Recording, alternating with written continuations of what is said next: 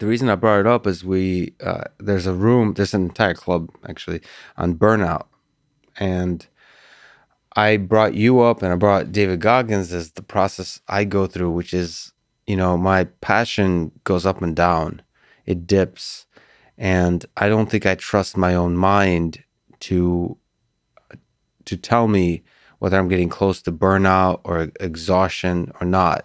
I kind of go with the David Goggins model of, I mean, he's probably more applying it to running, but uh, when it feels like your mind can't take any more, that you're just 40% uh, at your capacity. Yeah. I mean, it's just like an arbitrary Right. level. It's the Navy SEAL thing, right? The Navy SEAL thing. Yeah. I mean, you could put that at any percent, but it is remarkable that if you just take it one step at a time, just keep going. It's it's uh, similar to this idea of a process. If you just trust the process and you just keep following, even if the passion goes up and down and so on, then ultimately, if you look in aggregate, uh, the passion will increase. yeah. Your self satisfaction will increase. Yeah. I think, and if you have two things, this has been a big strategy of mine, so that you can, what you hope for is off phase, Mhm. off phase alignment. Like that, it sometimes is in phase, and that's a problem.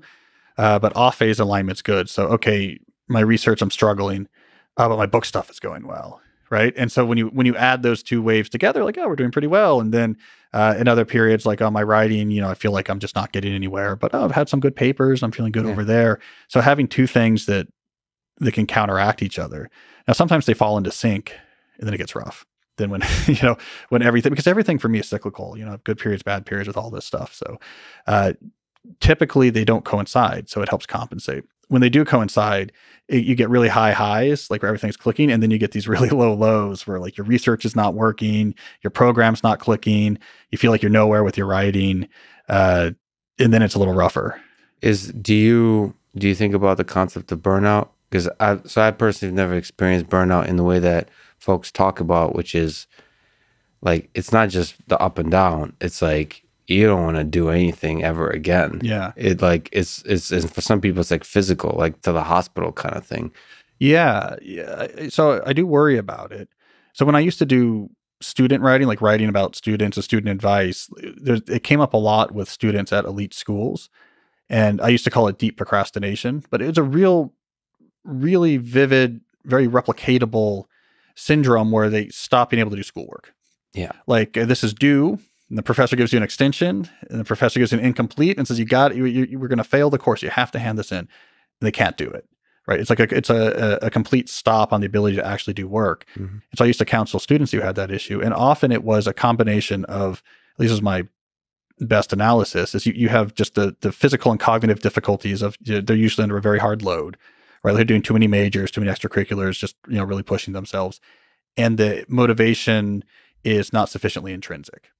Right So if you have a motivational center that's not completely on board, so a lot of these kids, like when I'm dealing with MIT kids, they would be, you know, their whole town was shooting off fireworks that they got in. There, everyone's hoped that they were going there, uh, and that they're in three majors. They don't want to let people down, but they're not really interested in being a doctor or whatever. So your your motivation's not in the right place. The motivational psychologist would say the locus of control was more towards the extrinsic end of the spectrum, and you have hardship, and you could just fritz out the whole system.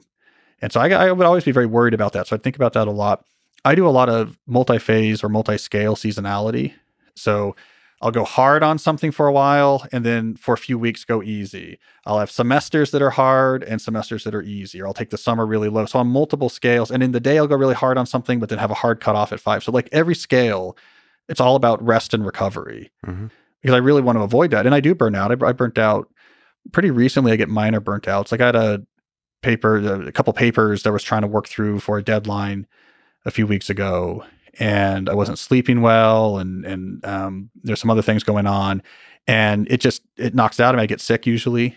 Is how I know I've pushed myself too far, yeah and so I kind of pulled it back. Now I'm doing this book launch. Then after this book launch, I'm pulling it back again. So I like I seasonality for rest and recovery. I think is crucial, and at every scale, daily, monthly, you know, and then at the annual scale, like an easy summer, for example, I think is like a great idea if that's possible. okay you just made me realize that that's exactly what i do because i i feel like i'm not even close to burnout or anything even though i i'm in chaos Yeah. i feel the right exact ways of seasonality is the not not even the seasonality but like you always have multiple seasons operating. It's like you said, like because when you have a lot of cool shit going on, yeah. You there's always at least one thing that's a source of joy.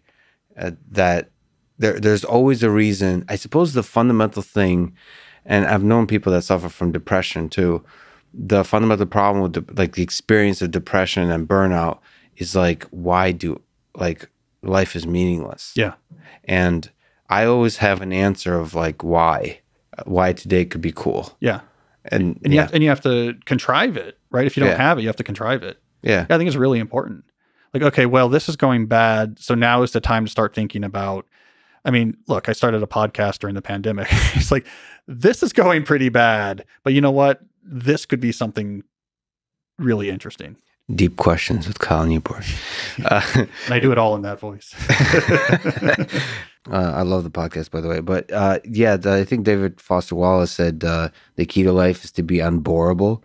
I, uh, I've always kind of taken that to heart, which is like you should be able to maybe artificially generate anything, like uh, find something in your environment, in your surroundings that's a source of joy. Like everything is fun. yeah. Like Did you read The Pale King? It goes deep on boredom. It means it's like uncomfortable. It's like an uncomfortable meditation on boredom.